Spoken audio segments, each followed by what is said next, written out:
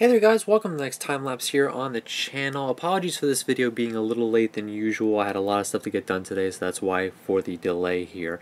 Uh, this one's not actually going to be a actual painting or art time lapse. This is going to be another functional time lapse where I show you guys kind of how to make something more or less.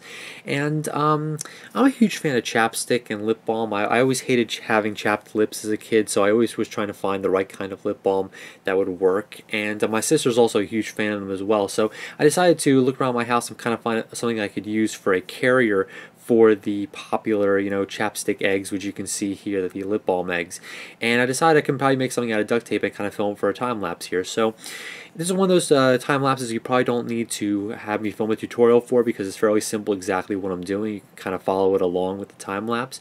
But I have uh, four different of the chapstick eggs here. I'm going to be using these to kind of form a little case, kind of like a like four peas in a pod and I'm going to be using that for the duct tape here, making it out of all, all duct tape.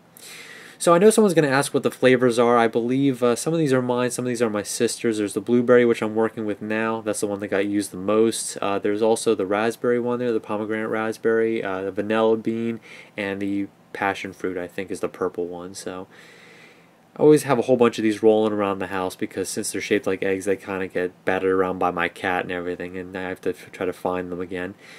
So now I'm going to um, use put a little bit of a flap on top here. Well, like I said before, not exactly something you need to me to film a tutorial for, but it, it is kind of cool how you can kind of stick all these together and kind of make a little holster form, almost like a sunglass case. Uh, sunglass case, but for these, yeah, they all kind of fit in there like peas in a pod. I'm also going to work on a little bit of Velcro for the strap here. And this, of course, isn't the end. I'm going to be using a little bit of the purple tape to put the EOS logo on it, which is, of course, the, the creator of the eggs here. And at this point, they kind of rolled all, all over the floor, so I had to pick them all back up again and stick the Velcro down. So here's the EOS logo. I'm going to stick that right directly on top of the uh, thing here because it's they're all made by EOS, so it makes sense. zoom in a little bit and use my uh, hobby knife to cut out the logo here. Then of course I'm just going to stick this, you know, right on top. So yeah, it's kind of cool.